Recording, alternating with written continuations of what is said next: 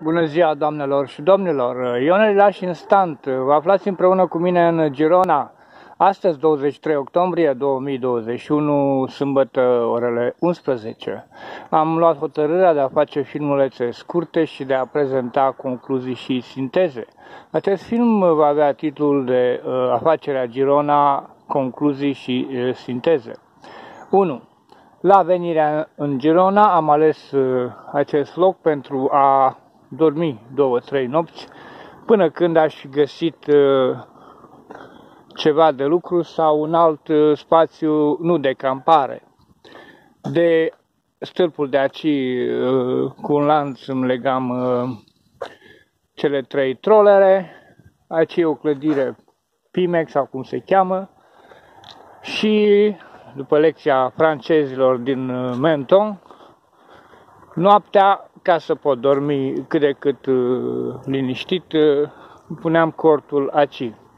Au fost două sau trei nopți, totul a fost foarte bine, puteam pleca, plecam de aici, este o alimentară aproape, uh, de aici să ajunge la autogară, la fel îmi, îmi încărcam telefonul acolo, mă trezesc cu doi polițiști, ceea ce vreau să vă zic este următorul lucru, polițiștii mi-au zis că nu pot să stau aici, că e spațiu privat, și ceea ce e interesant și face obiectul uh, uh, intervenției mele de astăzi este convorbirea radio dintre cei doi polițiști și centrala lor de poliție.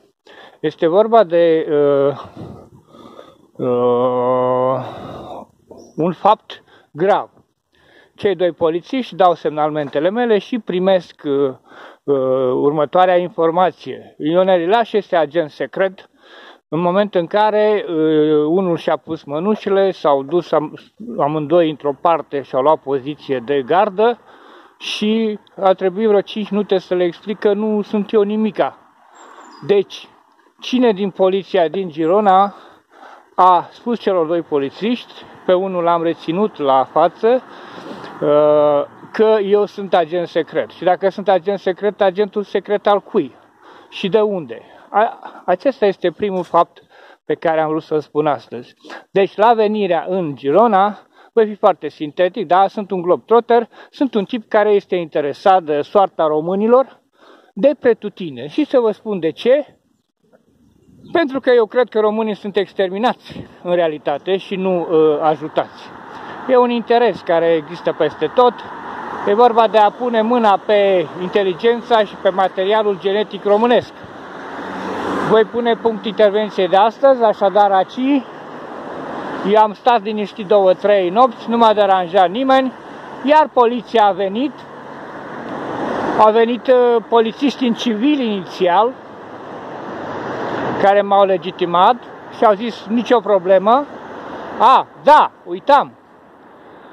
Când am venit aici, prima și prima dată, m-am trezit seara cu niște polițiști în civil, care m-au legitimat și eu le-am arătat că am NIE, numărul de străini și număr de securitate socială și le-am spus că stau două, trei nopți în Girona și până fac testul sau mă rog ce aveam eu de gând să fac și plec mai departe uh, pe coasta Mediteranei spre Monaco.